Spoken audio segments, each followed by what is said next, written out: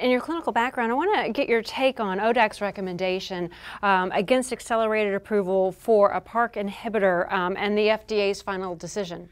Um, well, uh, the drug is known as olaparib. Uh, I couldn't possibly disagree more with the uh, determination of the um, the review committee. I, I, I, don't know that the you know the FDA is, is, best of my knowledge has not made a. I mean, we, we don't hear what the FDA says often. Uh, uh, my understanding is they've said do more research, do more uh, studies. I, I, think the the data on this particular drug is overwhelming. They were as a randomized phase two study and a lot of data that supported it. It basically showed that one could almost triple the time to disease progression in a randomized trial.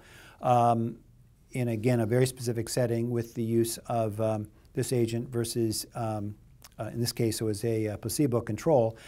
But I think in addition to that, um, I have a fundamental uh, disagreement with the approach that um, medical individuals, as um, expert as they may, may be, and of course I would put myself in that category. I've been involved in ovarian cancer research for the last 30 years, I've said, but I would say that these decisions on um, risks versus benefits in the setting of a truly life threatening situation should be made by the patients and their families.